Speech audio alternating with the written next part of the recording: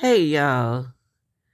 I want to come in a story with a young lady. She's 20 years old, and she have a daughter, and a daughter three, and uh, she was alleged kidnapped by these people, these strange looking people right here. And uh, if you look at them, look at them. Yeah, one, two, three, four men and three women. They just look weird. But uh yes, they've been arrested for the death of Mahogany Jackson. Okay, let's hear from uh, what the news had to say about it. People all charged with murdering a 20-year-old mother from Jasper. Someone found Mahogany Jackson's body on Monday in Birmingham after she had texted a family member that she had been kidnapped. our Bria Chapman was at a press conference held by Birmingham police this evening. The chief not mincing his words when discussing this case. Scott Thurmond describing the murder of Mahogany Jackson as disgusting and one of the most heinous crimes that he's seen throughout his career. And not only was Jackson shot and killed, she was also sexually assaulted by multiple people. Now there are seven people under arrest facing charges for felony and capital murder and also kidnapping. And Chief Thurmond says all of the suspects were acquaintances of the victim, and not only was she tortured to death, some of these horrific acts were recorded by those suspects. The Facts of this case are deplorable and sickening. Saddest of all, they were made public by the suspect's decision to videotape portions of this horrific act. We hope to shield Mahogany's family and friends by withholding specific facts surrounding the investigation. However, we have determined that Mahogany was a victim of sexual assault with murder and kidnapping. There's videos of some of these heinous acts taking place, and that's something that led uh, was a pivotal piece of the investigation. And with seven arrests in 48 hours, Chief Scott Thurmond is commending the people of Birmingham, saying that you all answered the call. And now these suspects will await their day in court while Jackson's family prepares to lay her to rest. And they'll also honor her life tomorrow night with a vigil. Reporting. promising a major update in this case tied to arrests and a motive. Well, Bria Chapman is live and on your site now after talking with Jackson's mother this afternoon. That had to be a hard conversation, Bria. Yeah, that's right, Sarah. So as you can imagine, she is devastated over losing her daughter, and all of this happening in such a brutal way makes that loss even harder. Now, she didn't want to go on camera, but Gail Mad- Maddox tells me she cannot understand why something like this had to happen to her child. And she says she's heartbroken for her family, especially Jackson's three year old daughter, Nadia. Now, she posted on social media this morning messages from her daughter from Sunday morning where she was telling her family her location and asking them to get to her as fast as they can.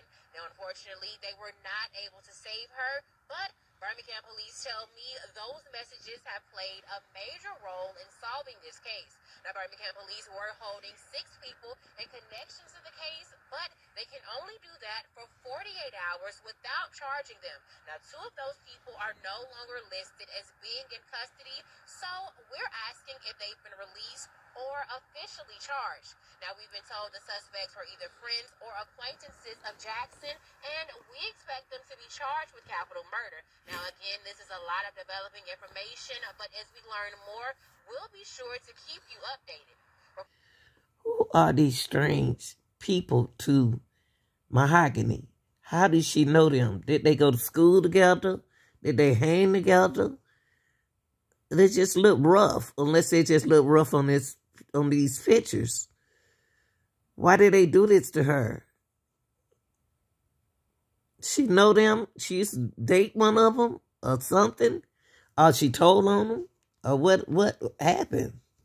Seven people all charged with murdering a 20-year-old mother from Jasper. Someone found Mahogany Jackson's body on Monday in Birmingham after she had texted a family member that she had been kidnapped. our Bria Chapman was at a press conference held by Birmingham police this evening. The chief not mincing his words when discussing this case.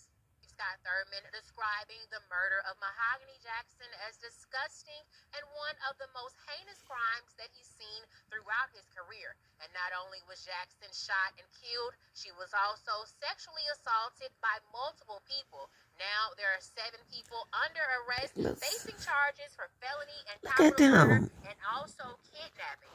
And Chief Thurmond says all of the suspects were acquaintances of the victim, and not only was she tortured to death, some of these horrific acts were recorded by those suspects. The facts of this case are deplorable and sickening. Saddest of all, they were made public by the suspect's decision to videotape portions of this horrific act. We hope to shield Mahogany's family and friends by withholding specific facts surrounding the investigation. However, we have determined that Mahogany was the victim of sexual assault with murder and kidnapping. There's videos of some of these heinous acts taking place, and that's something that led uh, was a pivotal piece of the investigation. And with seven arrests in 48 hours, Chief Scott Thurmond is commending the people of Birmingham, saying that you all answered the call. And now these suspects will await their day in court while Jackson's family prepares to lay her to rest. And they'll also honor her life tomorrow. not been officially charged, but we expect that to happen soon. And they're looking at some pretty serious charges. Bria Chapman is live and on your side with what we know right now, Bria. Yeah, Morgan. So the biggest news we've learned today is also the saddest. Now, Birmingham police say this was not a random act of violence. In fact, they say that they believe Mahogany Jackson knew her killers, even referring to the Must six be in in- custody, some of those as her friends. Now, Birmingham police also telling me that the text Jackson sent her mother, letting her know she was in danger, has played a significant role in this case. Now, Jackson was reported missing late Sunday night, and was she was found dead on 17th Street Southwest in Laurel Avenue. Why they treat her like that? Suffering from a gunshot wound. Now, six people are being held right now, and we expect them to be charged with capital murder. Now, this case is a capital murder case because sources say Jackson was kidnapped before being murdered. Now, Birmingham police say they expect to have a significant update in this case pretty soon. you'll never see a like me doing is arguing with one of you hoes. Cause you wanna know why? I don't know how to argue. I'm gonna run out of shit to say. As soon as I stutter, I'm gonna smack shit at you. So, I don't know what to say. You got me stuttering, hoe, and I'm finna make the I'm smack the at you because you got me looking dumb. Okay, so if y'all still a nipple, maybe. Okay, um, I just want to start this off with a review. And I really don't review shit. So,